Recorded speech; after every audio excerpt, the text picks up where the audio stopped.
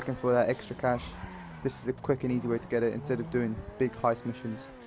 I think the payout's roughly around $500, which is not great, but it's still, at least it's something. Yes, I think we can rob this place. Alright, so just park up outside. Alright, this is what basically usually happens is...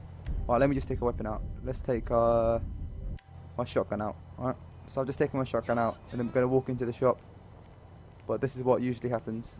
As soon as you walk into the shop, they make you take your weapon away. I will take care of you, So you're not able to use the gun inside the shop. Even if I press hold down L1 on the PS3 remote, it's not, nothing's happening.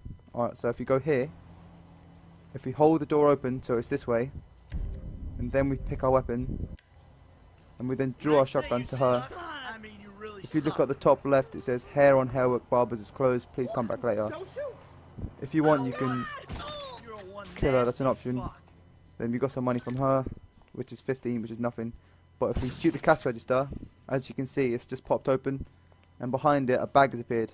Once you go to that bag, $207, which is not great, but at least we robbed the shop. Alright, that's the that's basically how you do it. It's quite simple, quite easy, but it's not a lot of money. But if you're starting out on the game, it's something.